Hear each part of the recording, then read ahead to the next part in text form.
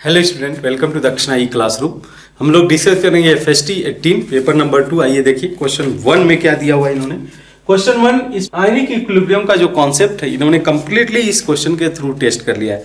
Basically क्या होता है प्रॉब्लम ना आयनिक इक्विलिब्रियम में आप सोल्यूशन का नेचर नहीं पहचान पाते हो। फॉर्मुलेज वगैरह भी याद होते हैं, उसके बावजूद भी काम नहीं कर पाते बिकॉज़ हम लोग को क्या चाहिए? हम लोग को पहले आइडेंटिफाई करना होगा कि सोल्यूशन का नेचर क्या है। ठीक है? यूजिंग द कंसंट्रेशन की बफर सोल्यूशन है, या सॉल्ट हाइड्रोलिसिस का केस बन रहा है, या वीक बेस का, या वीक एसिड का केस बन रहा है, ये आइडेंटिफाई करके हम लोग अप्रोच इजिली कर सकते हैं। तो आइए देखते हैं क्वेश्चन में क्या पूछा गया है। इसमें दिया हुआ है कि, बोला गया है कि एनिलीन एक वीक बेस है। हम लोग को पता है कि organic bases are weak bases compare to inorganic bases like NAOH या हम लोग अदर बेसिस कंसीडर करें। तो ये रिएक्ट कराया जा रहा है एचसीएल के साथ में और ये फॉर्म करेगा, आपको पता है कि एनिलीनियम क्लोराइड फॉर्म करेगा, इसको ये प्रोटेनेट करेगा और फॉर्म कर जाएगा सीएल माइनस के साथ में एनिलीनियम क्लोराइड ठीक है? ये फॉर्म करेगा सॉल्व अब देखो, इस केस में क्या दिया हुआ इन्होंने? कि इसका जो मिलीमोल्स लिया हुआ है, इन्होंने फाइव मिलीमोल्स लिया हुआ फाइव मिलीमोल्स इन्होंने कंसिडर किया हुआ इसका जो मिलीमोल्स इनिशियली लिया जाएगा 12.5 point five into point two that will give I think 2.5 millimoles ठीक है? अब इस सोल्यूशन का इन्होंने पीएच बोला हुआ है। ऑब्वियसली ये रिएक्शन में जाएगा तो minus two point five millimole से रिएक्ट करेगा। ये भी minus two point five millimole से रिएक्ट करेगा। तो कंप्लीटली क्या देखने को मिलेगा? ये टू पॉइंट फाइव मिलीमोल से रह जाएगा और ये रिएक्ट कर जाएगा ज़ीरो रह जाएगा। यहाँ पे सॉल्ट बन के आ गया टू पॉइंट फाइव मिलीमोल पहले आप सोल्यूशन को पहचानो, है क्या ये? सोल्यूशन एक सॉल्ट है वीक बेस का। और इस सोल्यूशन के अंदर वीक बेस भी प्रोजेक्ट यानी कि बफर सोल्यूशन फॉर्म कर है। तो आपका पीएच इन दैट केस क्या निकल के आता है? पीएच या पीओएच बोल दो। POH equal to pKb plus log of pKb plus log of salt by base salt by base ठीक है? अब इन दैट केस पीओएच कितना होगा? इन सोल्यूशन का इन्होंने पीएच दे रखा एट यानी कि पीओएच हो जाएगा सिक्स सिंपली पीओएच हो जाएगा सिक्स पी के भी हम लोग को नहीं पता, यही कैलकुलेट करना है. एक्चुअली इसी का हेल्प लेना है. आगे के जितने भी कैलकुलेशन है लॉग ऑफ़ सॉल्ट सॉल्ट हो गया 2.5 मिलीमोल्स और बेस हो गया आपका 2.5 मिलीमोल्स यानी कि लॉग वन ज़ीरो पीकेबी का आपने कैलकुलेशन कर लिया that pKb equal to six ठीक है? अब इसका यूज़ करो क्वेश्चन में क्या क्या पूछा गया पहला pH of 0.01 molar solution of anilinium chloride is 5 anilinium chloride का जो सोल्यूशन होगा, उसके लिए हम लोग को पीएच निकालना है। ये केस किसका होगा? जैसे एनिलीनियम क्लोराइड दिया है तो ये सॉल्ट हाइड्रोलिसिस का बेसिकली आप सॉल्ट हाइड्रोलिसिस कर तो सोल्यूशन के अंदर ये जनरेट करेगा aniline along with H plus ठीक है? सोल्यूशन को पहचानना ज़रूरी है, बस ये अगर आ गया तो इन दैट केस आप पीएच इजीली निकाल सकते हो। सॉल्ट हाइड्रोलिसिस का केस है पीके पीके भी पता है तो पीएच के डायरेक्ट फॉर्मूला के लिए जाते हैं। PH equal to one by two fourteen minus P K B minus log C minus log C अब देखो, यहाँ पे आपका दिया हुआ है। क्या दिया हुआ है इन्होंने? 14 ये हो गया। पी के भी हम लोग कैलकुलेट किए। पी के भी कॉन्स्टेंट रहेगा, वो चेंज नहीं होगा। लॉग सी की बात करें तो इन्होंने बोला है 0.01 बोला। यानी कि log of ten the power minus two log of ten the power minus two अब देख लो इसको कितना आ जाएगा। तो हो जाएगा one by two one by two इधर आ गया sixteen sixteen minus six ten sixteen minus six ten that is equal to five इस केस में five will be pH of 0.01 molar solution of anilinium chloride यानी कि option A is correct option A is correct अब बात करते हैं इसमें, बात करते हैं अदर ऑप्शन की।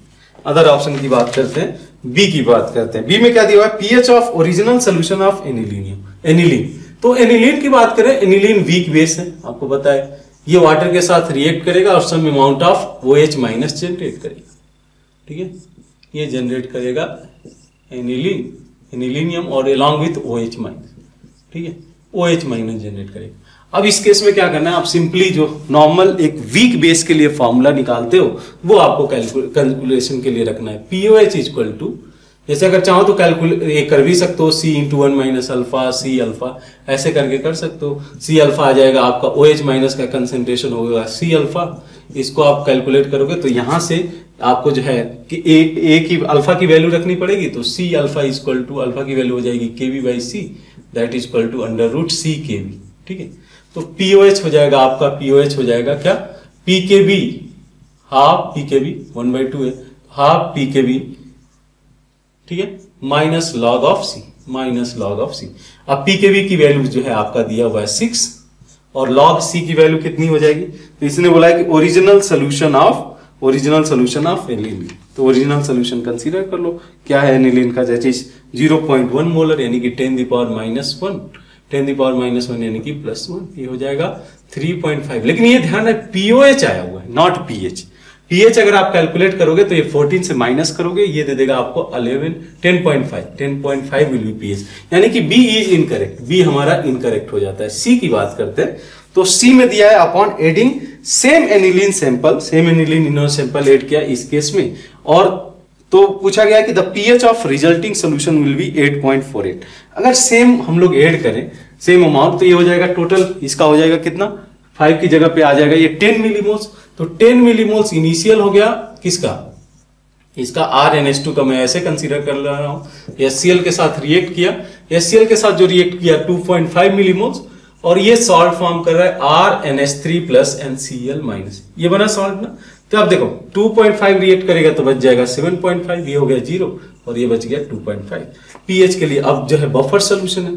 तो बफर सोल्यूशन में पीओएच के हम लोग फॉर्मूले के लिए जाए तो pOH is equal to P K B that is equal to six log of log of salt by base 2.5 divide by 7.5 ठीक है? तो वन बाई थ्री जाएगा। पी के वैल्यू है आपका सिक्स ये plus log of one by three log three की value दिया हुआ है क्या? इन्होंने पॉइंट फोर एट दिया हुआ है। तो इसको अगर मैं करता हूँ, ये हो जाएगा six minus log of three log of three हो जाएगा आपका point four eight fourteen minus six plus point four eight ठीक है आपको पीएच चाहिए ना तो पीएच के लिए तो 14 से माइनस करना पड़ेगा। तो ये हो जाएगा आपका 8 plus eight point four eight ये हो जाएगा 8.48 यह आंसर बिल्कुल। C option is correct D की बात कर लेते हैं। डी ऑप्शन में क्या दिया हुआ है? Upon adding the same SCL sample to the mixture the pH of resulting solution अब देखो आपने क्या किया है? आर एन एस टू फिर आप देखो फिर आप इक्वेशन लिख लो।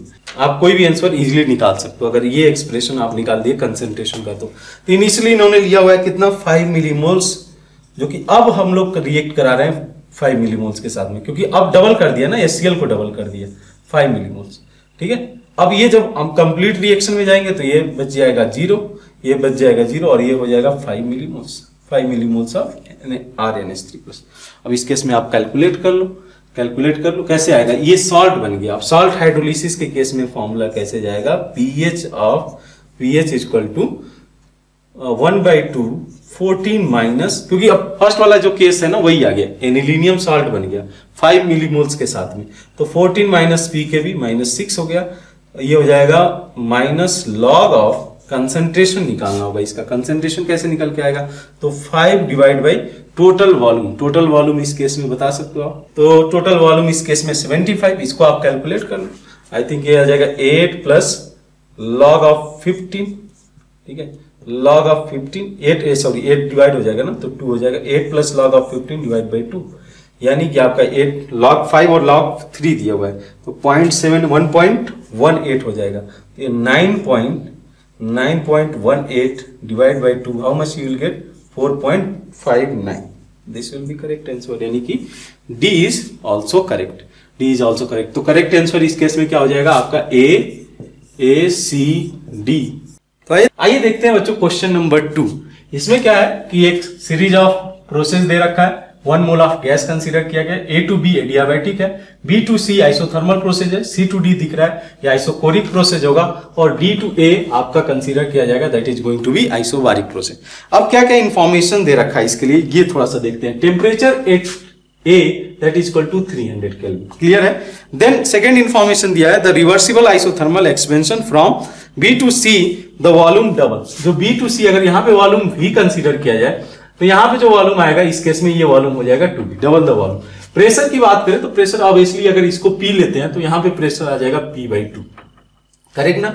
ये हो जाएगा पी बाई टू उसके अलावा क्या इन्होंने मेंशन किया है? The entropy change from C to D that is equal to how much four L N sixteen four L N sixteen अब जो है, आपको पता है कि एंट्रोपी का रिलेशन क्या होता है? N C V N C V L N N C V L N T two by T one T two by C one plus N R L N V two by V one ठीक है? N R L N V two by V अब इस case में क्या है कि अगर मैं सी टू डी कंसीडर करूँ फॉर सी टू डी क्या हो जाएगा आपका? वॉल्यूम तो कांस्टेंट है। तो ये वाला टर्म्स कैंसिल हो जाएगा सिंपली हो जाएगा N C V N C V L N D by T C that is equal to how much four L N sixty four L N sixteen अब देखो, यहाँ पे जो वैल्यू आपको दे रखा है ना गामा की वैल्यू दे रखा है। Gamma equal to one point five तो अगर आप रिलेशन से निकालो तो सीपी आपका आ जाएगा थ्री और थ्री आर और सीवी हो जाएगा आपका टू आर इसमें आप रख दो टू आर के लिए। एन की वैल्यू वन हो गई।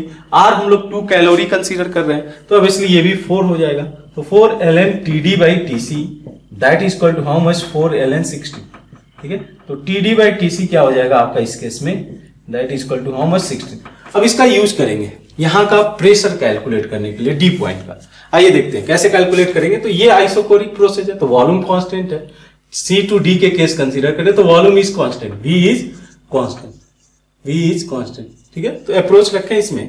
तो हम लोग का ये लिखा जा सकता है P D by T D that is equal to that is equal to P C by T C ये होगा?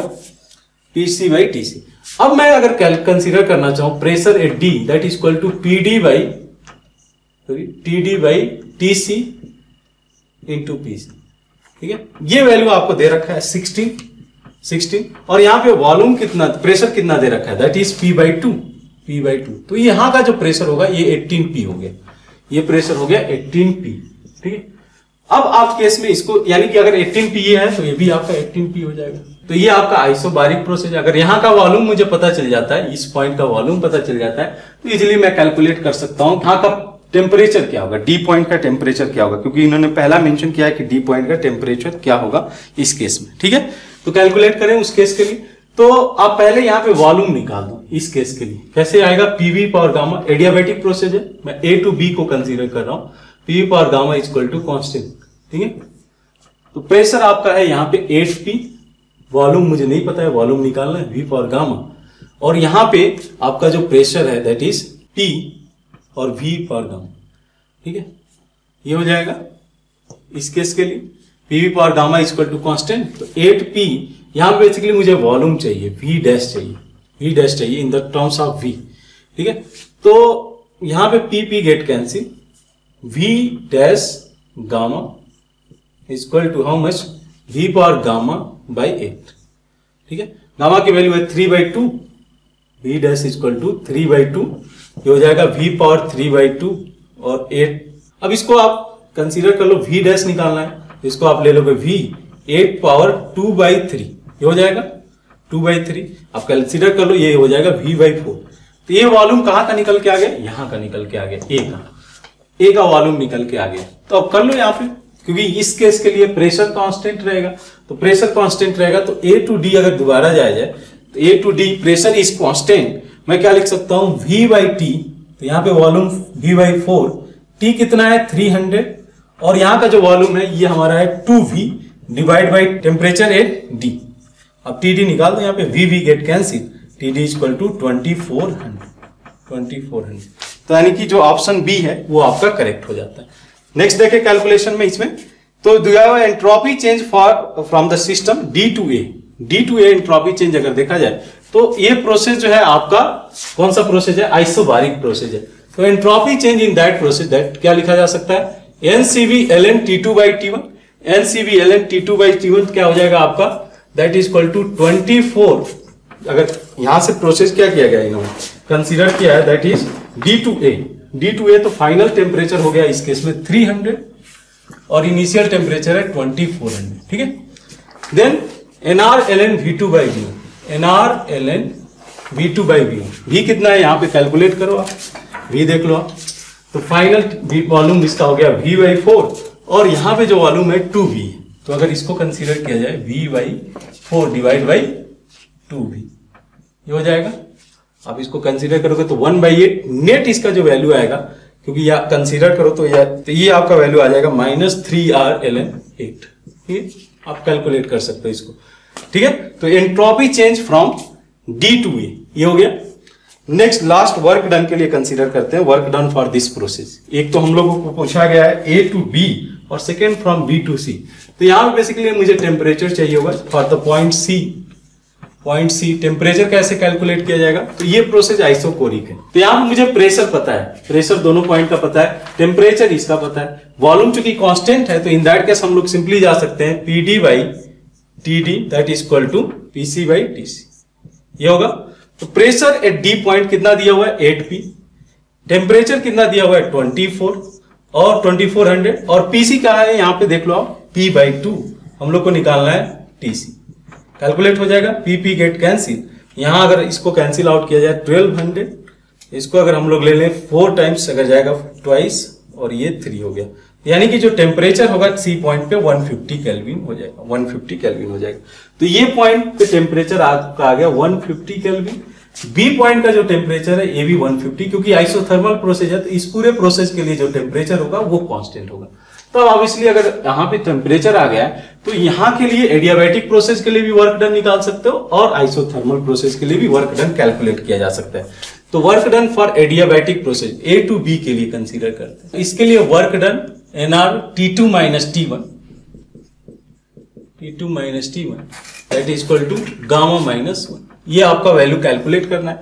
यहाँ पे सिंपली टेम्परेचर की वैल्यू अगर रखें तो टी टू आपका 150 केल्विन है। और टी वन आपका कितना है? यहाँ पे 300 केल्विन अब इस वैल्यूज़ को आप रखोगे तो आई थिंक जो है, जो वैल्यू आपको मिलेगा that is equal to minus six hundred calorie R की वैल्यू जो है, आप कैलोरी में रख देना. सिंपली वैसे ही हम लोग कंसीडर करें बी टू सी जो कि आइसोथर्मल प्रोसेस है तो हो जाएगा minus N R T L N V two by view V two by view अब यहाँ पे रख लो आप. तो टेम्परेचर इस केस में आप कंसीडर कीजिए 150 फिफ्टी केल्विन तो ये हो जाएगा आपका simply N R one fifty L N two N fifty L N two तो आर की वैल्यू आपको पता ही है कि यहाँ पे आर की वैल्यू हम लोग टू कैलोरी रख देंगे। तो ये वैल्यू आ जाएगा आपका नंबर ऑफ़ मोल्स वन हो जाएगा सिंपली ये हो जाएगा three hundred L N two three hundred L N two minus three hundred L N two देख सकते हो डी ऑप्शन भी करेक्ट है। तो इस केस में आपका करेक्ट आंसर हो जाएगा A B C and D all option are correct question number three देखें। इन क्वेश्चन नंबर थ्री क्या बोला गया है? Correctly match with the major product one by one consider करते हैं ऑप्शन को। ऑप्शन ए में इन्होंने कंसीडर किया, एक लिया, इन्होंने टर्मिनल एल्कीन और एक नॉन टर्मिनल एल्कीन ठीक है, इसको रिएक्ट कराया इन्होंने। कंपाउंड इसको हम लोग बोलते हैं डाइसिमाइल बोरेन डाइसिमाइल बोरेन ये शायद रिएक्शन हम लोग जनरली हम लोग डिस्कशन में नहीं रखते हैं। बट समझते हैं थोड़ा इसका रिएक्शन किस तरीके से होता है इस केस में। डाइसिमाइल बोरेन स्लाइटली ये सेलेक्टिव होता है टुवर्ड्स द टर्मिनल एल्किन और टर्मिनल एल्काइन इसमें भी हाइड्रोजनेशन होने जा रहा है बट इसकी जो सिलेक्टिविटी है टुवर्ड्स टर्मिनल एल्किन और एल्काइन के टुवर्ड्स वो ज़्यादा होती है। तो ये लिख सकते हो कि जो है it is selective towards its it is selective towards towards terminal alkene terminal alkene and alkyne over non terminal over non terminal ठीक है?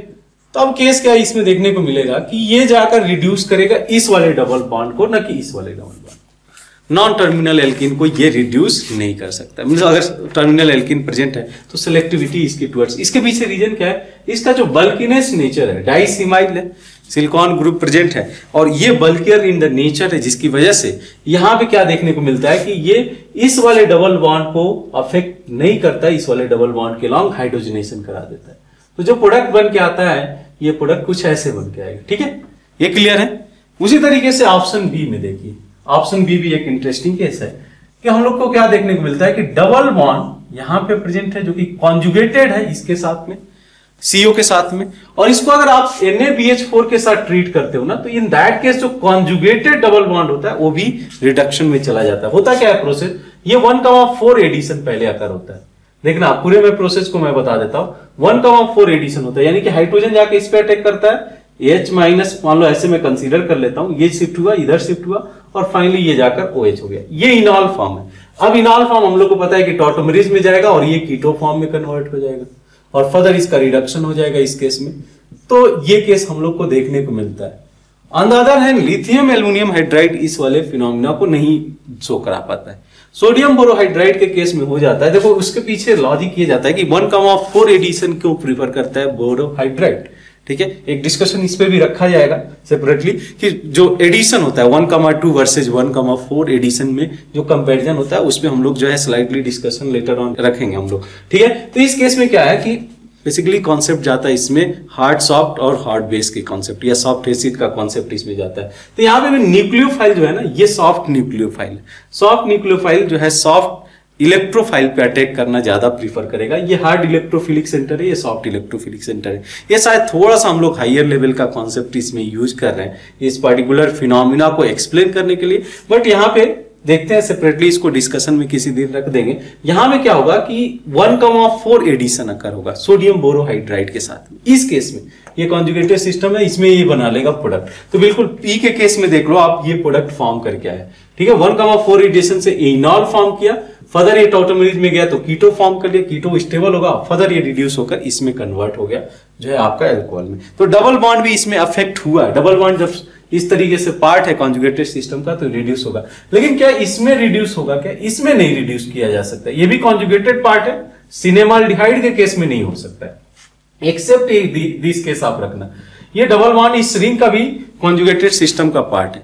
तो यहाँ पे हम लोग वन कम फोर एडिशन नहीं देख पाते। इस वाले केस में अगर आप सोडियम बोरोहाइड्राइड लो, और इस केस में अगर आप ट्रीट करते हो इसको तो double bond will be not affected ठीक है? मैग्नीज के लिए मैं एक सेपरेटली टाइम निकाल के डिस्कशन इसको रख दूँगा इस पे कि किस तरीके से one comma four sodium borohydride और लिथियम एल्युमिनियम हाइड्राइड के नेचर में डिफरेंस आता है कॉन्जुगेटेड सिस्टम में कैसे अफेक्ट करता है नॉन कॉन्जुगेटेड सिस्टम यानी कि आइसोलेटेड सिस्टम में कैसे अफेक्ट किया जाएगा, एक सेपरेटली मैं डिस्कशन रख दूँगा। अभी उस मैग्नीज पार्ट में मैं नहीं जाना चाहूँगा। डायरेक्ट मैं प्रोडक्ट में जा रहा हूँ। यहाँ डबल वन इस सिस्टम का कॉन्जुगेटेड सिस्टम का पार्ट है।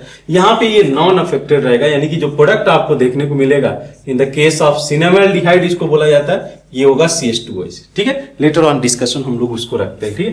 तो ये प्रोडक्ट आप बन के आएगा। देख लो आप तो ए बी सी ये करेक्ट है।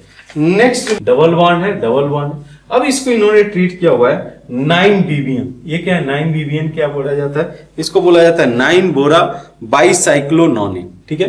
ये स्ट्रक्चर आप सर्च करके देख लेना क्या स्ट्रक्चर बन के आता है। बट ये भी सेम बिहेवियर रखता है लाइक डाइसिमाइल बोरेन की जैसे डाइसिमाइल बोरेन की जैसे ये भी बल्कियर बेस है। अब वो उस पर्टिकुलर पॉइंट पे जाके अटैक करना चाहेगा एच माइनस देना चाहेगा, जहाँ पे कि ये लेस स्टेरिकली क्राउडेड है। ठीक है? सिलेक्टिव ड्यू टू यहाँ पे लिखना चाहो तो लिख सकते हो स्टेरिकली क्राउडेड ठीक है?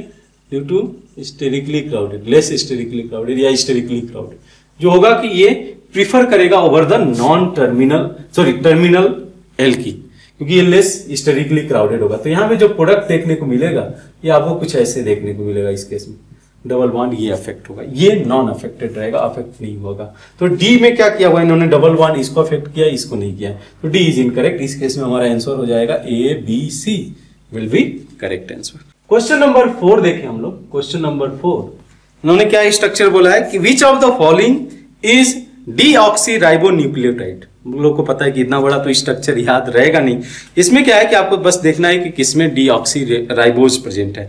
न्यूक्लियोटाइड में हम लोग डीऑक्सी राइबो न्यूक्लियोटाइड में हम लोग तीन पार्ट देखते हैं। एक पार्ट होता है हमारा जो फॉस्फेट फॉस्फेट वाला आयन होता है, एक जो अमाइन सॉल्ट अमाइन का ग्रुप होता है, और एक जो है ग्लूकोज यानी कि शुगर वाला पार्ट होता है। तो देख लो आप किसमें डीऑक्सी राइबोज प्रेजेंट है। तो आई थिंक इस केस में अगर देखो, इस स्ट्रक्चर में आप देखो क्लियरली देख पाओगे कि सभी ऑप्शन में, सभी केस में आपको डीऑक्सी राइबो न्यूक्लियोटाइड मिलेगा। तो इन दैट केस जो हमारा ऑप्शन होगा क्वेश्चन नंबर फोर के केस में, इस केस में, ये हो जाएगा A B C D all four option are correct for the question number four ठीक है? नेक्स्ट देखते हैं हम लोग क्वेश्चन नंबर फाइव ये भी आसान प्रॉब्लम क्वेश्चन नंबर फाइव में क्या बोला है? Choose the correct order of matching with the property पहला इन्होंने थर्मल स्टेबिलिटी का दिया हुआ है। S C L O four is greater than S C L O three ठीक है? S C L O three is greater than S C L O two is greater than सही है correct है ये। जैसे जैसे इसका हम लोग जो है ऑक्सीडाइजिंग एजेंट ऑक्सीडेशन स्टेट बढ़ते जाएगा, इसका स्टेबिलिटी भी बढ़ते जाएगा मोर स्टेबल होगा थर्मल स्टेबिलिटी इसकी ज़्यादा होगी तो ऑप्शन ए इज़ करेक्ट ठीक है? Option A is correct thermal stability ज़्यादा होगी। बी के केस में देखा जाए तो एसिडिक स्ट्रेंथ का ऑर्डर दिया हुआ है S C L O four once again same कहानी है इजिली एस प्लस देगा, जो कॉन्जुगेट बेस बन के आएगा इजिली स्टेबलाइज किया जा सकता है। तो इसका जो एसिडिक स्ट्रेंथ होगा, ये ज़्यादा होगा। जितना ज़्यादा कॉन्जुगेट बेस स्टेबलाइज किया जाएगा, उतना स्ट्रॉन्ग वो एसिड कहलाएगा। तो B option is also correct C की बात करें तो सी में बोला है ऑक्सीडाइजिंग पावर ऑक्सीडाइजिंग पावर ये अपोजिट हो जाएगा। ये आप जो है, अगर वैल्यू आप देखोगे H O C L is a stronger oxidising agent than S C L O two मैं वैल्यू की बात नहीं कर रहा हूँ। इसमें स्टेबिलिटी भी तो देख लो थर्मल स्टेबिलिटी इसकी ज़्यादा है। थर्मल स्टेबिलिटी इसकी ज़्यादा है। तो इन दैट केस ये इजिली जो है ऑक्सीडाइज ऑक्सीडाइजिंग एजेंट की तरह काम कर सकता है। ये इजिली ऑक्सीडाइजिंग एजेंट की तरह काम करता है compare to S to compare to S और कंपेयर टू एस आप चाहो तो एक बार इसका डेटा चेक कर लेना कि इसका ऑक्सीडाइजिंग जो पोटेंशियल है कितना है, ठीक है?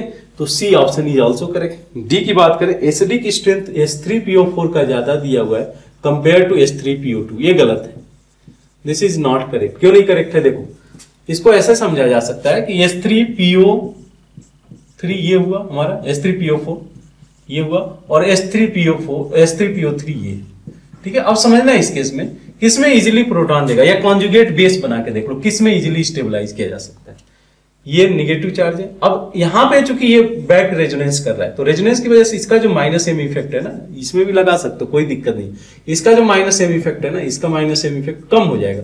यहाँ पे दो ऑक्सीजन अपना लोन पेयर डोनेट कर रहे यहाँ पे एक ही ऑक्सीजन लोन पेयर डोनेट कर तो ऑब्वियसली जो क्रॉस कंजुगेशन वाली कहानी थी ना, वहाँ पे एप्लीकेबल है कि ड्यू टू क्रॉस कंजुगेशन इसका स्टेबलाइजेशन उतना नहीं हो पा रहा है जितना इस केस में हो रहा है। इससे भी स्ट्रॉगर एसिड होगा। यहाँ पे जो करेक्ट ऑर्डर जाएगा ना S3PO2 ज़्यादा स्ट्रॉन्गर एसिड होगा S3PO3 से, और S3PO3 स्ट्रॉन्गर एसिड होगा S3PO4 से। ये ऑर्डर जाता है। आप इसके कॉन्जुगेट बेस की स्टेबिलिटी को देख लो। यहाँ पे लोन पेयर है ना तो रेजोनेंस में जाएगा तो ये जो इसका माइनस एम इफ़ेक्ट है, कमी करेगा। तो जो है ओवरऑल मॉलिक्यूल को उतना ज़्यादा स्टेबलाइजेशन नहीं मिल पाएगा, इस निगेटिव चार्ज को उतना ज़्यादा स्टेबलाइजेशन नहीं मिल पाएगा। तो इन दैट सिनारियो हमारा जो ऑप्शन होता है, इस केस में करेक्ट हो जाएगा A B C for the question number five वैसे ही क्वेश्चन नंबर सिक्स की बात करें। इन क्वेश्चन नंबर सिक्स क्या दिया हुआ है? Which of the following statement are correct ठीक है? Which of the following statement are correct पहला दिया हुआ है, जो है सिल्वर साइनाइड का कॉम्प्लेक्स दिया हुआ है। इस बोला गया है कि इट इज़ लीनियर देख लो आप। इसका हाइब्रिडाइजेशन निकाल दो। ठीक है? एसपी टू हाइब्रिडाइज आएगा तो एसपी हाइब्रिडाइज होगा तो लीनियर होगा। हाइब्रिडाइज इसका इस पे चार्ज कितना आएगा? A G plus oxidation state A G plus and carbon also ठीक है? Linear with S P S P hybrid A G plus ion और कार्बन ऑल्सो हाँ स्ट्रक्चर अगर आप कंसीडर करते हो एजी प्लस का, कुछ ऐसे होगा। तो सी एन का, ठीक है सी एन और इधर से सी तो ये भी एसपी हेब्राइज होगा, ये भी आपका एसपी हेब्राइज ही होगा। तो option A is correct option A is correct in that case B की बात कर लेते हैं। तो बी में दिया हुआ है C O C L four C O C L four two minus एक वीक फ़ील्ड इवेंट है, जो है, ठीक है तो इसमें टेट्राहेड्रल ही देखने को मिलेगा। C R O four two minus तो यहाँ हाइब्रिडाइजेशन एस पी थ्री होगा, ये भी टेट्राहेड्रल होगा, ये भी हाइब्रिडाइजेशन एस पी थ्री होगा। आप स्ट्रक्चर बना के भी देख सकते हो। तो आई थिंक ये भी बोला कि tetrahedral geometry B is also correct C की बात कर लेते हैं। सी में दिया हुआ है कि C U N S three four ठीक है? ये कॉम्प्लेक्स दिया हुआ है। प्लेटिनम कॉम्प्लेक्स दिया है दैट इज़ हम लोग को देखते ही पता चल जाना चाहिए it is going to be square planar और एन फोर दिया हुआ है। N four with strong fielding तो सब में वही कहानी है। ठीक है? सभी के सभी स्क्वायर प्लेनार ज्योमेट्री रखेंगे with hybridisation D S P two with hybridisation D S P two ठीक है? तो C is also correct D की बात करें डी की बात करें F E C O four have the triangular bipyramidal structure with the D S P three hybridisation अब देख लेना इसका, इस केस में। स्ट्रक्चर कैसे बन के आएगा, मैं ड्रॉ कर देता हूँ। आप हाइब्रिडाइजेशन के लिए एक बार देख लेना ये किस तरीके से आ रहा है, ठीक है? यहाँ पे आ जाएगा सी ये हो जाएगा आपका क्या? Triangular bipyramidal structure with D S P three sorry D S P three हो जाएगा। क्या स्ट्रक्चर दिया हुआ है? सीओ फाइव ठीक है? सही है। डीएसपी थ्री हाइब्रिडाइज सही है? Three H P three hybridise iron तो ये कुछ इस तरीके से आपका स्ट्रक्चर जाएगा। तो जो है आपका करेक्ट ऑप्शन हो जाएगा A B C D all option are correct in this case question number seven देखें। इन क्वेश्चन नंबर सेवन क्या दिया हुआ है? इन्होंने डिफरेंट सोल्यूशन दे रखा है। और मेंशन किया है कि आपको जब इलेक्ट्रोलिसिस इसमें कराया जाएगा तो which gas is going to present on the corresponding electrode ध्यान है इलेक्ट्रोड इनर्ट रखा हुआ है तो आपको यही देखना है कि किसका डिस्चार्ज पोटेंशियल का जो है ज़्यादा या कम है। उस कॉन्सेप्ट को आपको यूज़ करके इसको सॉल्व करना है। प्रीवियस प्रीवियस एफएसटी में भी ऐसे क्वेश्चन पूछे गए थे, जहाँ पे मैंने मेंशन किया था इस टाइप के क्वेश्चन फ्रीक्वेंटली पूछे जा सकते हैं। ठीक है? अब देखो किस तरीके से कंसिडर किया जाएगा। पहले में इन्होंने रखा हुआ है डायलूट एस डायलूट एससीएल का केस है। तो डायलूट एससीएल में H प्लस और Cl माइनस आयन आएँगे। लेकिन यहाँ पे जो रिडक्शन और ऑक्सीडेशन हम लोग देखने जा रहे हैं, जैसे रिड्यूस होकर H प्लस ये फॉर्म करेगा हाफ़ एच टू वैसे ही ऑक्सीडेशन की बात करें तो वाटर ऑक्सीडाइज होकर जनरेट कर देगा O2 ठीक है? ये जनरेट कर देगा O2 तो ये चीज़ हम लोग को देखने को मिलता है। Cl माइनस नहीं जाएगा। Cl माइनस जब डायलूट सोल्यूशन आपने लिया हुआ है डाइल्यूट या Cl सोल्यूशन तो इंटायर केस Cl माइनस जो है ऑक्सीडेशन में नहीं जाएगा। ठीक है? वाटर ऑक्सीडेशन में जाएगा या आप ज़्यादा अप्रोप्रिएट होगा ये लिखना कि OH माइनस जो कि प्रेजेंस होगा सोल्यूशन के अंदर, वो जाएगा ऑक्सीडेशन में। ठीक है? वैसे ही मैं बात करूँ क्यू क्यू के केस में आपने डायलूट एनएसीएल रखा हुआ है। तो डायलूट NaCl की भी कहानी वही होती है। प्रेजेंस बता रहता है बट इसका ना तो सोडियम प्लस का रिडक्शन होता है, ना तो Cl माइनस का। Because of its discharge potential reactivity का ऑर्डर है। सोडियम सबसे ज़्यादा रिएक्टिव है तो सोडियम प्लस आयन में ही रहना चाहेगा। तो यहाँ पे प्रीफर किया जाता है H प्लस का रिडक्शन तो ये जनरेट करता है H2 और सिमिलरली जो एनोड होगा, इस पे जो ऑक्सीडेशन अकर होगा, ये होगा ओ OH माइनस का, और ये जनरेट करेगा वो तो यहाँ पे बेसिकली फाइट चल रहा है Cl माइनस OH माइनस का सोडियम प्लस का और H प्लस का। ठीक है? Which is going to been by the OH minus and H plus जिसका भी जो है इफ़ेक्ट ज़्यादा होगा उस सोल्यूशन के अंदर। वैसे ही मैं बात करूँ R सोल्यूशन में तो R के केस में दिया हुआ है आपका कंसेंट्रेटेड NaCl तो कंसेंट्रेटेड NaCl के केस में क्या होगा? देखिए सीएल माइनस अब आ गया आ गया रोल में। कंसेंट्रेटेड रखा गया तो सीएल माइनस का कंसेंट्रेशन बहुत ज़्यादा है। तो कैथोड पे क्या देखने को मिलेगा? अभी भी एच प्लस ही जाएगा और ये एस टू जनरेट करेगा। सोडियम नहीं जाने वाला है, सोडियम हाईली रिएक्टिव एलिमेंट्स है। हाईली रिएक्टिव एलिमेंट्स है और सोडियम रिड्यूस मतलब सोडियम प्लस रिड्यूस होकर सोडियम में नहीं कन्वर्ट होने वाला है। बस सिंपली मैं ये बोला कि जब हाईली रिएक्टिव है तो इसका रिडक्शन नहीं होने वाला है। अदर वे अराउंड करेक्ट है बट यहाँ पे अभी भी प्रीफर किया जाएगा H plus over the sodium plus on the cathode की बात कैथोड की बात हो गई एनोड की अगर बात करें एनोड पे क्या रिएक्शन होगा? तो अब Cl माइनस रोल में आ जाएगा, Cl माइनस कन्वर्ट होके Cl2 में फॉर्म कर देगा और इलेक्ट्रॉन रिलीज़ करेगा। क्योंकि अब कंसेंट्रेटेड सोल्यूशन है। कंसेंट्रेटेड NaCl के केस में ये देखने को मिलता है डायलूट NaCl के केस में ये देखने को मिलता है। तो देखो, आप प्रिडिक्शन कितना अप्रोप्रिएट है। मैंने पेपर जो है बाद में देखा है। आज देखा है पेपर मैंने सुबह इस पेपर को देखा है। लेकिन ये प्रिडिक्शन मेरा था कि आप एनसीईआरटी को मैं रिवाइज कर लो डिस्चार्ज पोटेंशियल के कॉन्सेप्ट को। ठीक है? वहाँ से ये डायरेक्ट इन्होंने क्वेश्चन रखा हुआ है। वहाँ पे मेंशन किया कि डायलूट NaCl लिया जाएगा तो कौन सा, किस रिडक्शन होगा, कौन सा ऑक्सीडेशन होगा, ये मेंशन किया गया। वैसे ही आप बात कर लो, जो है इसमें यस का। AgNO3 सॉल्यूशन AgNO3 के केस में नाइट्रेट सुनने में ही लग रहा है नाइट्रेट हाईली स्टेबल कंपाउंड है, उसमें कुछ इफ़ेक्ट नहीं होने वाला है। हाँ जो कैथोड पे है, वो चेंज हो जाएगा। कैथोड पे अब एजी प्लस रिड्यूस होकर एजी फॉर्म कर लेगा। और एनओ थ्री की बात कर एनओ थ्री नहीं जाएगा, यहाँ पे भी ओ एच माइनस ही जाएगा। अभी भी फाइट है OH माइनस और नाइट्रेट में तो OH माइनस ऑक्सीडाइज होकर O2 फॉर्म करेगा और ये इलेक्ट्रॉन ठीक है? O2 माइनस फॉर्म करेगा और ये इलेक्ट्रॉन तो ये पूरी की पूरी कहानी। अब देखो इस केस में कौन सा ऑप्शन करेक्ट है। P का first and second first and second में क्या दिया हुआ है? O2 evolve at anode O2 evolve at anode and H2 evolve at the cathode सही है, बिल्कुल सही है। तो P का फ़र्स्ट और सेकेंड दिया कई सारे ऑप्शन में। Q का देखा जाए तो Q का अगर बात करें डाइल्यूट में तो यहाँ पे भी हाइड्रोजन और O2 जनरेट करेगा। तो वन कमा टू आपका आ रहा है इस केस में बी में। बी के आ, आगे जाओ। आर के केस में आर में आपको क्या देखने को मिलेगा? Two comma three that is that is yes two evolve yes two evolve और ओ टू इवॉल्व इस केस में देखो आप आर के केस में सॉरी आर के केस में एस टू इवॉल्व होगा और सी एल टू इवॉल्व होगा।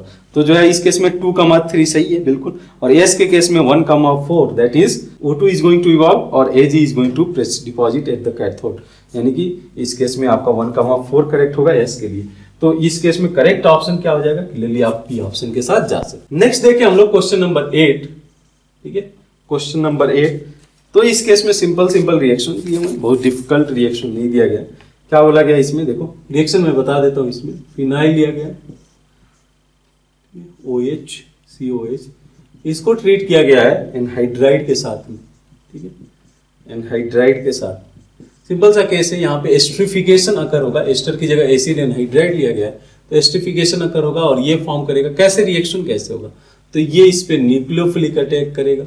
यहाँ से ये मूव करेगा, इधर जाएगा और ये रिमूव कर जाएगा। तो फाइनली जो प्रोडक्ट हम लोग को देखने को मिलेगा इस केस में, कुछ ऐसे देखने को मिलेगा। एस्टर ग्रुप यहाँ पे आ जाएगा सी ओ सी एस ठीक है? और यहाँ पे आ जाएगा ये सी ओ ठीक है? कोई दिक्कत है इसमें?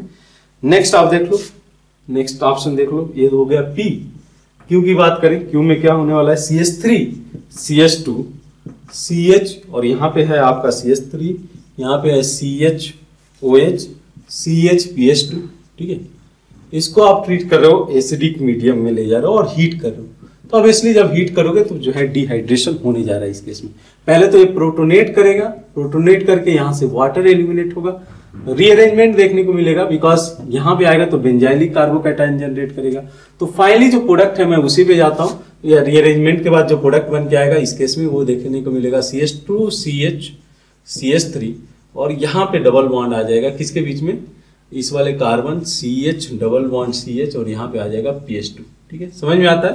बिकॉज़ ये बेंजाइलिक कार्बोकेटाइन होगा जो कि स्टेबलाइज किया जाएगा फिनाइल दो फिनाइल ग्रुप है दो फिनाइल ग्रुप प्रेजेंट है, यहाँ पे ध्यान दें, ठीक है? तो यहाँ पे कुछ ऐसे स्ट्रक्चर है, दो फिनाइल ग्रुप प्रेजेंट है तो ऐसे कुछ स्ट्रक्चर आएगा, ठीक है? फाइनली मैं इसमें गया वाटर एलिमिनेट करेगा वाटर जैसे ही एलिमिनेट करेगा, यहाँ पे कार्बोकैटाइन फॉर्म करेगा हाइड्राइड शिफ्ट होगा।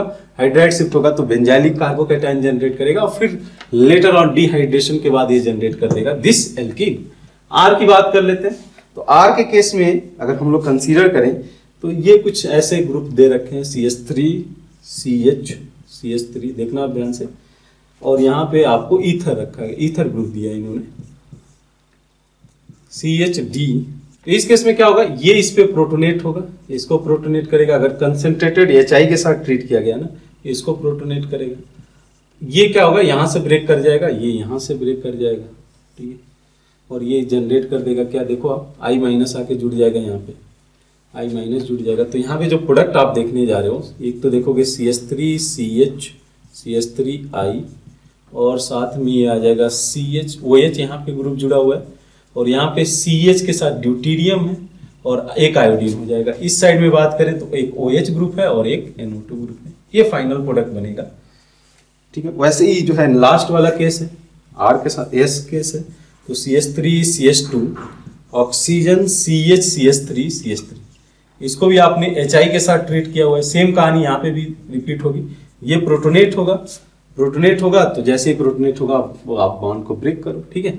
जिस, उसको ब्रेक करो जो कि स्टेबल कार्बोकेटाइन जनरेट करेगा तो यहाँ पे बन के आ जाएगा C S three C S two O H अब क्वेश्चन में आते हैं क्या क्या पूछा गया है। इसमें ऑप्शन ए देखा जाए तो ऑप्शन ए में क्या दिया हुआ है? पी का टू के साथ दिया हुआ है। टू क्या है? Reaction involve O H bond breaking बिल्कुल यहाँ पे बॉन्ड ब्रेक किया जा रहा है।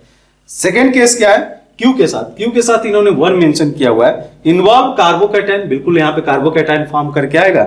और but not following S N one reaction S N one mechanism नहीं है। यहाँ पे तो हम लोग क्या करा रहे हैं? एलिमिनेशन करा रहे हैं। हीट दिया गया ना? तो एलिमिनेशन विल टेक्स प्लेस सही है but not following S N one mechanism elimination follow कर रहा है, ठीक है? क्यू का वन सही है। आर के लिए थ्री मेंशन किया हुआ है। आर के केस में थ्री क्या है? थ्री में मेंशन किया हुआ है कि reaction involve oxygen carbon bond cleavage via S N two mechanism इस केस में देखो।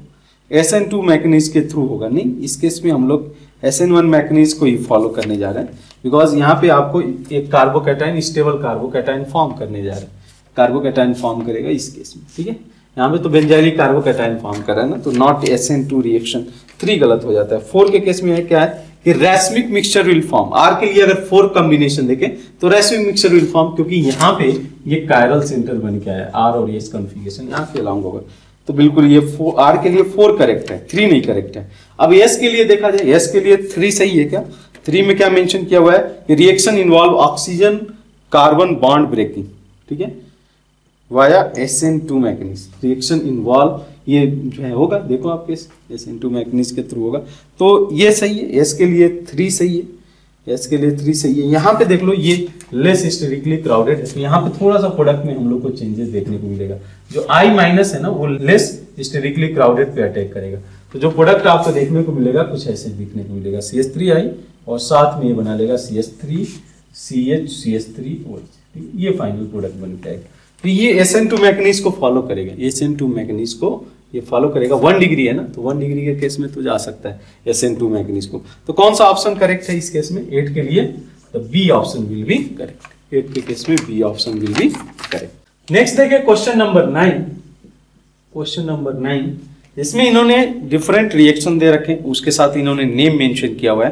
पहला chlorination by sulphuryl chloride of ethane this one ethane को अगर क्लोरिनेशन कराना है तो ये मैग्नीज फॉलो किया जा सकता है। ये भी डिस्कशन का पार्ट बना था कि अगर आपको क्लोरिनेशन कराना है तो इसके थ्रू भी किया जा सकता है। इसको बोला जाता है सल्फ्यूराइल क्लोराइड तो ये फॉर्म कर लेगा सी इथाइल क्लोराइड फॉर्म कर लेगा।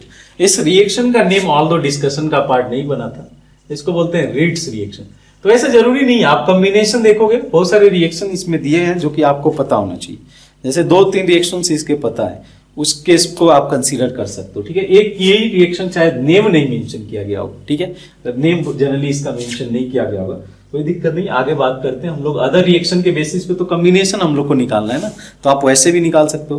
Chlorination by the using the concentrated SCL and ZnCl2 ठीक है? ये कराते हैं हम लोग HCl in the presence of ZnCl2 ये शायद हम लोगों ने डिस्कशन में रखा था। इसको हम लोग बोलते हैं that is called as the Groves process इसको हम लोग ग्रुप्स प्रोसेस बोलते हैं, ठीक है? लेकिन दो अदर जो रिएक्शन है, उसको तो हम लोग जो है कंसीडर किए होंगे फॉर द डिस्कशन पर्पज के लिए। जैसे आप कंसीडर करो इसमें, क्या मेंशन किया इन्होंने? Halogenation by treating silver salt of carboxylic acid ठीक है? Silver salt of carboxylic acid in the presence of in the presence of CCl4 halogenation जो हम लोग कराते थे ब्रोमीन के प्रेजेंस में CCl4 ठीक है? क्या रिएक्शन होता था ये?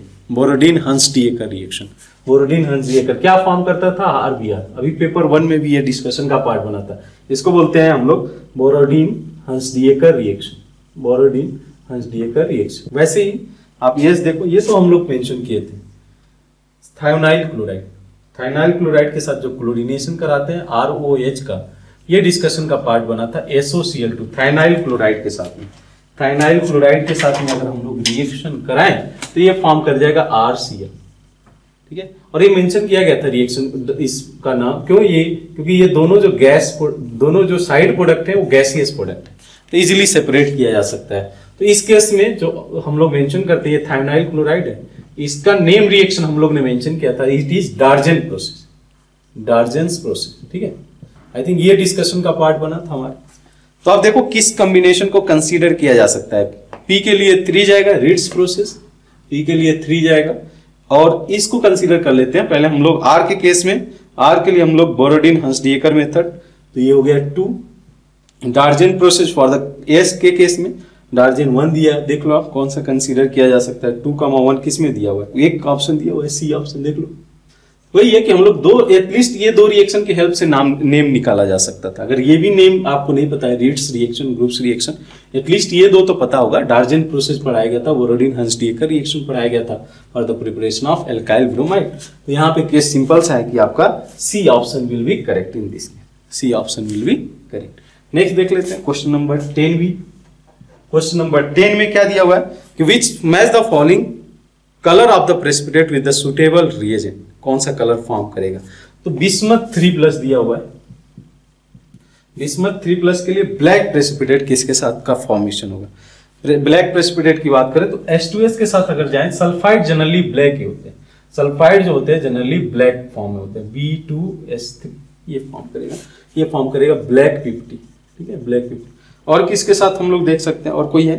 तो इसमें आयोडाइड दिया हुआ है। तो इसके इसमें भी हम लोग अगर बिस्मत का लिए आयोडाइड के प्रेजेंस में आई माइनस के प्रेजेंस में तो ये फॉर्म कर लेगा B I I three which is also going to be black precipitate which is also going to be black precipitate ठीक है? तो ये हो गया आपका पी के केस में। क्यू में हम लोग को क्या चाहिए? क्यू के केस में copper two plus give black precipitate copper two plus give black precipitate तो एस टू एस के साथ में तो देगा ही सल्फाइड है तो कॉपर सल्फाइड की बात करें तो ये black generally sulphide black fifty होते हैं। जो ब्लैक नहीं रहते हैं, वो हमारे क्वेश्चन के पार्ट बन जाते हैं। जो ब्लैक प्रेसिपिटेट नहीं होते, एक बार क्वेश्चन ऐसे पूछा गया कि how many sulphide will be black तो जो नॉन ब्लैक सल्फाइड होंगे, उसको आप जो है देख लेना। उसके अलावा क्या हो सकता है इस केस में, जिसके साथ ये ब्लैक प्रेसिपिटेट फॉर्म करेगा? वही पोटेशियम थायोसाइनेट पोटेशियम थायोसाइनेट ये हमारा के होगा। ठीक है? इसी के साथ आयरन का जब हम लोग रिएक्शन कराते हैं तो ये blood red colour colour form करता है। इस केस में क्या होगा कि ये फॉर्म कर लेगा C U S C N two ये भी ब्लैक प्रेसिपिटेट होगा, ठीक है? तो ये तो रहा क्यू के केस में पी के केस में, ठीक है? आर की बात करें Z N two plus with Z N two plus with Z N two plus चाहिए हम लोग को व्हाइट प्रेसिपिटेट तो किसके साथ व्हाइट प्रेसिपिटेट आ सकता है?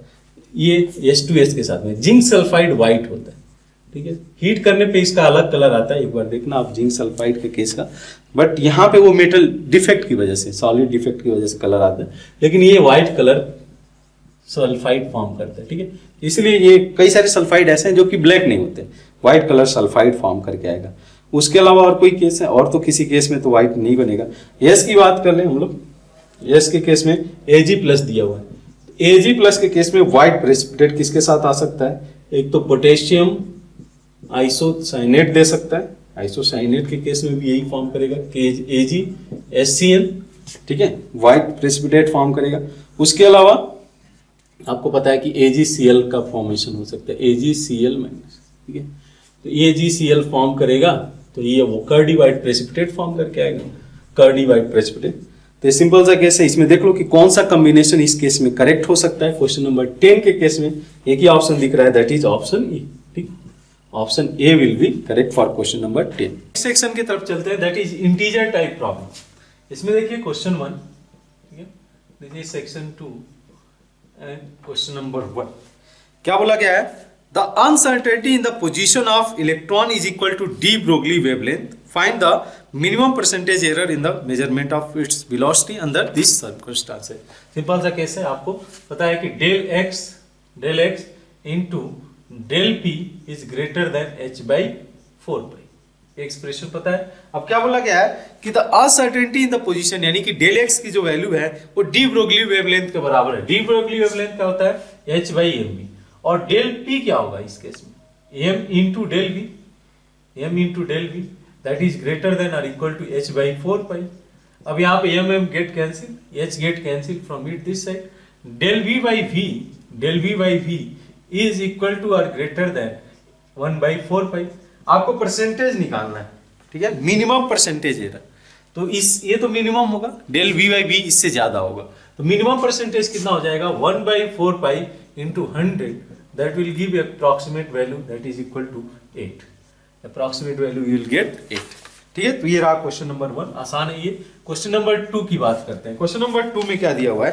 Consider the following first order decomposition reaction जहाँ पे कि A4 कन्वर्ट हो रहा है किसमें A4 कन्वर्ट हो रहा है 4A गैस में, ठीक है? 4A गैस में। सिंपल सा केस है कि the T half of the above reaction based on the following graph they have mention कि कर्व इन्होंने ड्रॉ किया हुआ है। कर्व देखो कुछ इस तरीके से। इस तरीके से यहाँ पे इंफॉर्मेशन दिया हुआ है ये, जहाँ पे A4 ये रहा, आपका डिक्रीज हो रहा है, और यहाँ पे ये रहा। यहाँ पे ये 30 मिनट के बाद ये केस देखने को मिल रहा है। तो अगर टी हाफ़ कैलकुलेट करना होगा आपको फ़र्स्ट ऑर्डर रिएक्शन है तो ऑब्वियसली मुझे 0.693 यानी कि एल एन टू बाई के चाहिए होगा। के की वैल्यू चाहिए होगा। तभी तो मैं टी हाफ़ निकाल सकता हूँ। टी हाफ़ निकालने के मुझे लिए के चाहिए होगा। रेट कांस्टेंट रेट कांस्टेंट निकालने के लिए आपको एक्सप्रेशन देखना पड़ेगा। जैसे क्या होगा, ये देखो A minus X equal to ये फॉर्म करेगा four X after some time मैं कंसीडर कर लेता हूँ। After some time A X जो है डिसोसिएट हुआ और ए फॉर्म किया four X of A gas अब देखो at one time thirty minute पे के का वैल्यू कहाँ से निकाला जा सकता है? क्योंकि ये कर्व से एक इंफॉर्मेशन हमें मिला है कि थर्टी मिनट पे दोनों का कंसेंट्रेशन इक्वल हो गया। तो मैं क्या बोल दूँगा कि A minus X equal to four X A क्या था? Initial number of moles A four का कंसीडर कर दो और सम टाइम के बाद ये इक्वल हो गए। A minus X equal to four X यानी की एक्स की वैल्यू हो गई ए बाई फाइव एक्स की वैल्यू हो गई ए बाई फाइव यही होगा? एक्स की वैल्यू हो गई ए बाई फाइव अब इसका यूज़ करके आप क्या कर सकते हो? के की वैल्यू निकाल सकते हो। के कैसे आएगा? तो K is equal to K is equal to आप log of log of A by A minus five यानी कि four A by five A minus X रखोगे ना, और यहाँ पे आपका टी आ जाएगा। यही तो आता है ना K T equal to log L N लिख लो। K T equal to L N A by four A by five यही आएगा। अब इसको आप रख लो। टी कितना है? थर्टी मिनट तो one by thirty that is equal to how much L N five by four L N five by four अब इस के के वैल्यू को आप यहाँ पे सब्सटीट्यूट कर दो। तो यहाँ पे अगर सब्सटीट्यूट करते हो तो यहाँ पे ये वैल्यू आ जाएगा T half is equal to T half की वैल्यू हो जाएगी। कहाँ पे? मैं बोला हूँ इसको ले जाकर वहाँ पे रख दो। तो एल एन टू थर्टी ऊपर चला जाएगा। तो L N two divide by L N five by four इसको आप कैलकुलेट करोगे। इसको अगर आप कैलकुलेट करते हो तो ये आपको वैल्यू नियर बाई दे देगा नाइन्टी ठीक है? नाइन्टी मिनट ये इसका टी हाफ़ हो जाएगा। समझ में आ रहा है क्या मैं बोला कि एक पर्टिकुलर टाइम का यूज़ करके जो कंसंट्रेशन दिया हुआ है डेटा दिया, उसकी वैल्यू का यूज़ करके मैंने रेट कांस्टेंट के निकाला और इस रेट कांस्टेंट को ले जाके यहाँ पे रख दिया। यहाँ से मुझे फ़र्स्ट ऑर्डर का टी हाफ़ निकल गया हाफ़ लाइफ टाइम तो आसान है प्रॉब्लम बहुत कुछ इसमें करना नहीं है अपने को। क्वेश्चन नंबर थ्री देखते हैं हम लोग।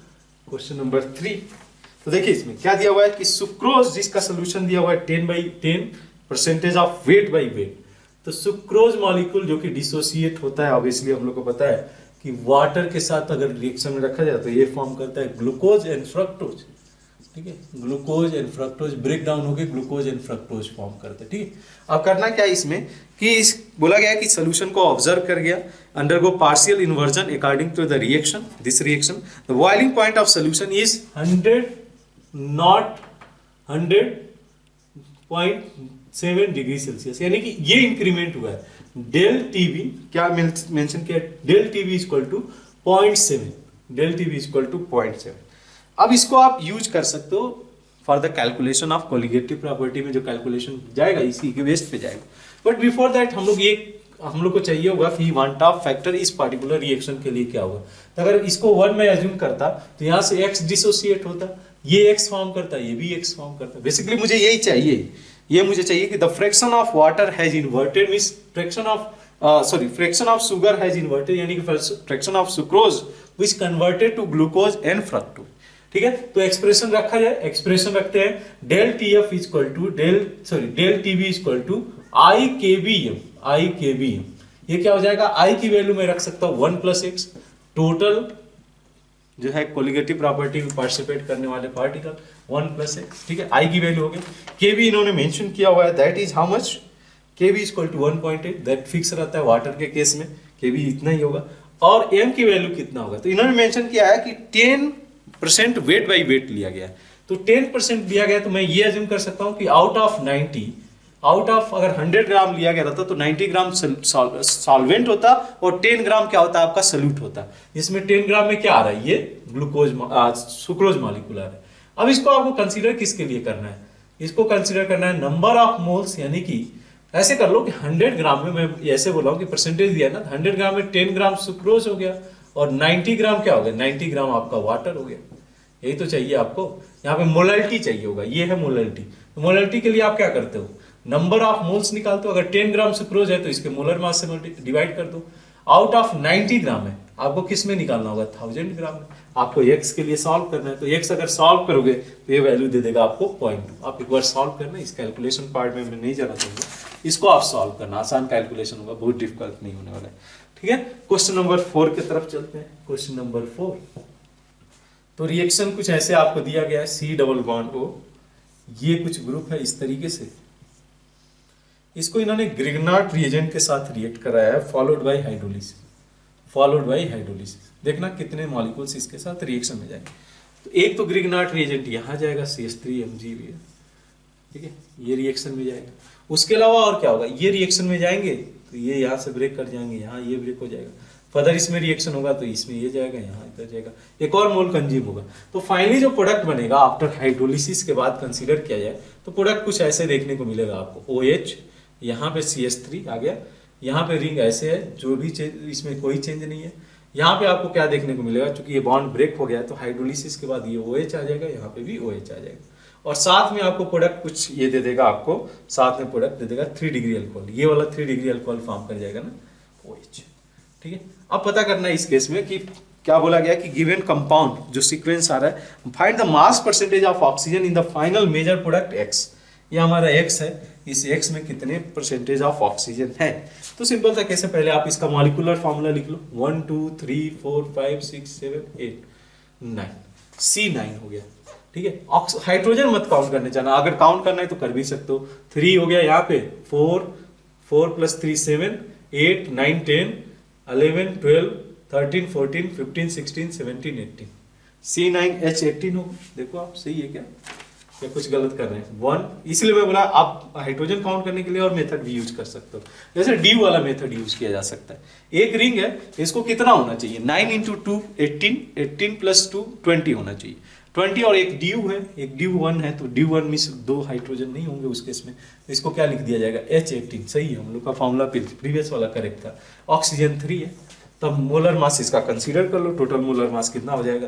तो ऑक्सीजन का कितना हो जाएगा? ऑक्सीजन का मास हो गया 48 टोटल मास हो गया 174 सेवेंटी फोर इंटू ये अगर कैलकुलेट करते हो तो आपको वैल्यू दे देगा 27.58 ठीक है? यानी कि 27.6 के आसपास में जो भी वैल्यू है, इसके बीच में उसको कंसीडर किया जा सकता है आंसर के ठीक है? तो इसको देख लो, फिर हम लोग नेक्स्ट जो क्वेश्चन है उसको देखते हैं। नेक्स्ट देखते हैं क्वेश्चन नंबर फाइव ये भी एक अच्छा प्रॉब्लम है। क्या बोला गया है कि how many of reaction give below phenolic compound phenolic means a O H group present हो, जो बेंजीन के साथ डायरेक्टली अटैच्ड हो। तो phenolic group is present in the major product of following compound first का केस देखो। First के case में इन्होंने सल्फोनिक एसिड लिया हुआ है। अच्छा इसको सल्फोनिक एसिड को शायद इन्होंने फोमिक एस के साथ ट्रीट किया। उसकी ज़रूरत नहीं है।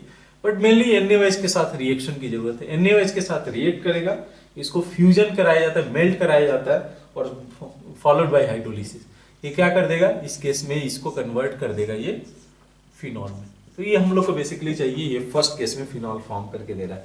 सेकेंड कंसीडर करना आपको। सेकेंड जो रिएक्शन है, इस केस में हम लोग एचआई के साथ ट्रीट कर रहे हैं। ठीक है? Concentrated H I O C H two P H ये एच आई के केस में क्या होगा? एच प्लस इसको प्रोटोनेट करेगा। एच प्लस प्रोटोनेट करेगा। यहाँ पे आई माइनस का न्यूक्लियोफिलिक अटैक हो जाएगा और ये फॉर्म कर लेगा क्या प्रोडक्ट ओ एच फिनॉल तो फॉर्म करेगा साथ में आपको बेंजाइलिक आयोडाइड मिल जाएगा बेंजाइल आयोडाइड फॉर्म करके दे देगा। तो हम लोग को बेसिकली चाहिए क्या? फिनॉल चाहिए। तो ये इसमें भी फॉर्म करके आ रहा है, ये भी हम लोग का करेक्ट है। थर्ड देखिए थर्ड का केस है न्यूक्लियोफिलिक सब्सटीट्यूशन रिएक्शन जब इलेक्ट्रॉन विड्रॉइंग ग्रुप प्रेजेंट रहता है रिंग के बेंजीन रिंग पे तो यहाँ पे फ्लोरो क्लोरो ब्रोमो जैसे ग्रुप को यहाँ से रिप्लेस किया जा सकता है। ठीक है? तो इसको ट्रीट किया हुआ है अक्वस एनएच के साथ। बेसिकली ये प्रॉपर्टी क्यों शो कराया जा रहा है? NO2 के इलेक्ट्रॉन विड्रॉइंग नेचर की वजह से।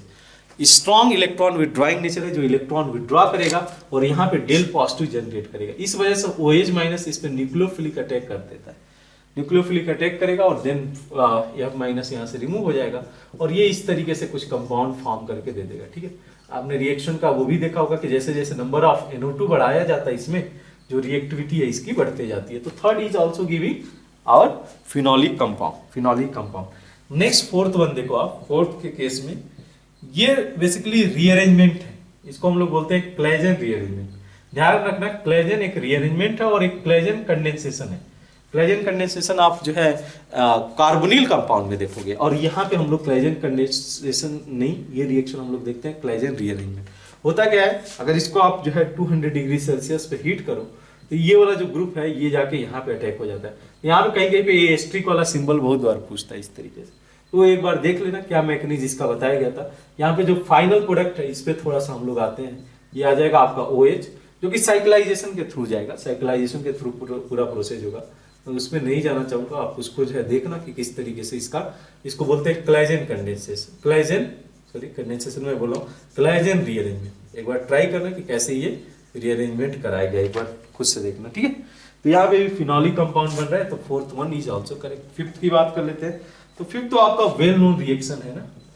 दैट इज़ क्यूमिन हाइड्रोपेरोक्साइड से जो इंडस्ट्रियल मेथड से प्रिपेयर किया जाता है that is this method oxygen के साथ रिएक्ट कराओगे तो क्यूमिन हाइड्रोपेरोक्साइड फॉर्म करेगा, जिसको अगर आप ट्रीट करते बेसिकली एच म्यू चाहिए एच प्लस के प्रेजेंस में इसको हीट किया जाए तो यहाँ पे हम लोग बोलते हैं कि फिनॉल फॉर्म कर जाता है और साथ में एसीटोन एसीटोन जो कि साइड प्रोडक्ट फॉर्म करता है एज अ सॉल्वेंट की तरह यूज़ किया जा सकता है। इस वजह से ये मेथड बोला जाता है कि highly highly preferable for the preferable for the industrial preparation of phenol This method is highly preferable for industrial preparation of phenol. The fifth one is also correct. Fifth one is also correct here.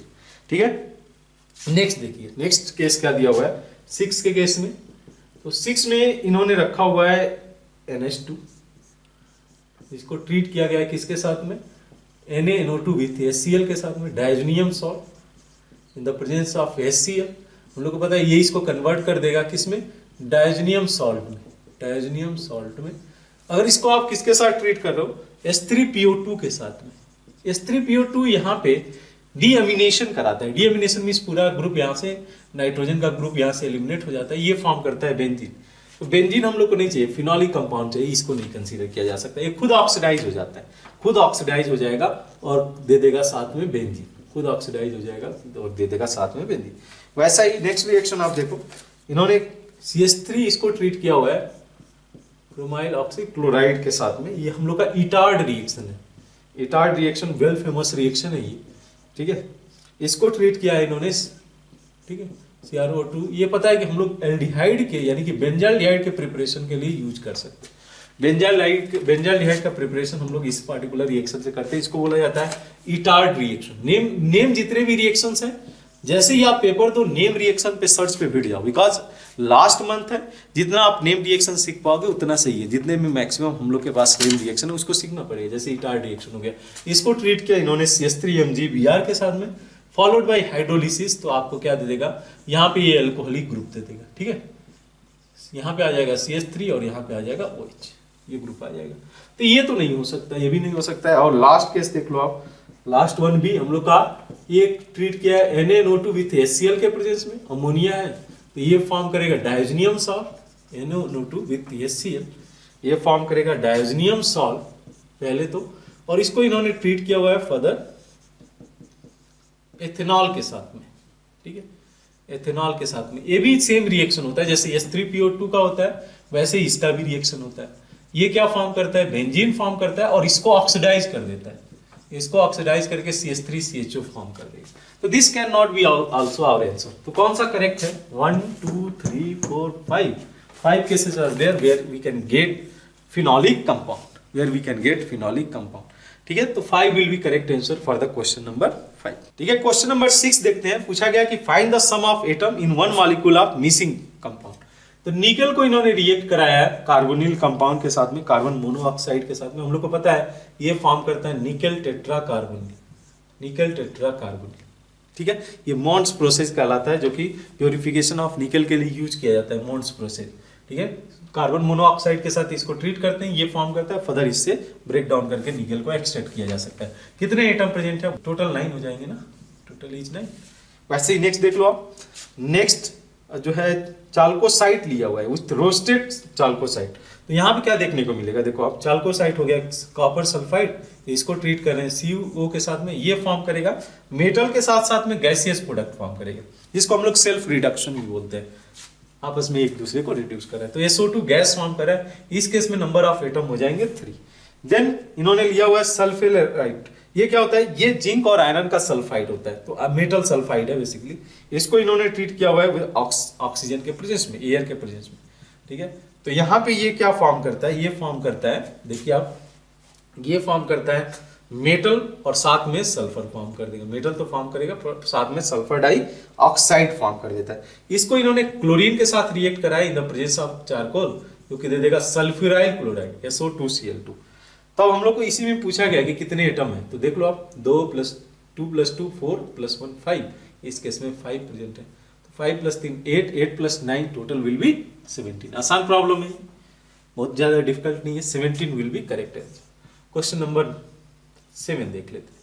Seven के case में बोला गया है कि on burning with excess oxygen among the lithium sodium rubidium caesium barium दिया हुआ strontium beryllium, magnesium determine the total number of elements which can chiefly form superoxide. मतलब easily can form superoxide इसमें से कौन सा है? सुपर ऑक्साइड फॉर्म करता है जो लोअर एल्काली मेटल होते हैं मीन पीरियोडिक टेबल में जो सबसे नीचे होते हैं, वो इजीली पेरोक्साइड फॉर्म कर सकते हैं।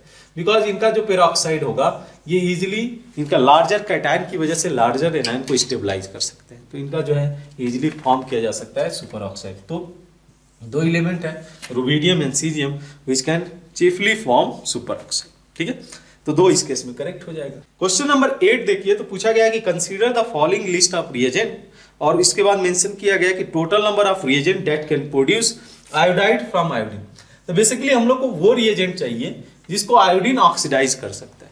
वो रिएजेंट चाहिए जिसको जो है आयोडीन ऑक्सीडाइज कर सकता है। वो केसेज ले लो। Cold dilute N A O H solution है, बिल्कुल, ये भी ऑक्सीडाइज हो सकता है आयोडीन के प्रेजेंस में। ये कंसीडर किया जा सकता है। फ़र्स्ट कंसीडर कर सकते हैं। कॉपर सल्फेट नहीं। कॉपर सल्फेट को कॉपर सल्फेट के साथ ये कॉपर सल्फेट को नहीं ऑक्सीडाइज कर सकता। है क्लोरीन की बात करें, नहीं हो सकता है। फेरिक क्लोराइड नहीं हो सकता इस केस में भी नहीं होगा। ठीक है? उसके बाद इन्होंने दिया हुआ है sodium metal along with heat ये कंसीडर किया जा सकता है। Concentrated S two S O four concentrated H N O three दोनों नहीं होगा। Then O three in the acidic medium नहीं होगा। N A two S two O three N A two S two O three को iodine oxidise कर देता है। और खुद आयोडाइड फॉर्म में चला जाता है तो ये कंसिडर किया जा सकता है। तो total there are three reagent which is going to reduce iodine from to iodide और खुद ये अपने आप में ऑक्सीडाइज हो जाएँगे। तो ध्यान रहे, यहाँ पे हम लोग को जो ऑक्सीडाइजिंग एजेंट का जो ऑर्डर है ऑक्सीडाइजिंग पावर का जो ऑर्डर है, वो ध्यान में रहना चाहिए। तभी हम लोग ऐसे प्रॉब्लम कर सकते हैं। और ऐसे क्वेश्चन पूछे जा रहे हैं। कुछ एफएसटी में आपने देखा होगा इस तरीके का क्वेश्चन फ्रिक्वेंटली पूछा जा रहा है कि which can oxidise which reagent ठीक है? तो उस केस में आपके आपको जो ऑर्डर है, जो ट्रिक है, एक बार देख लेना कैसे उसको याद रखा जा सकता है।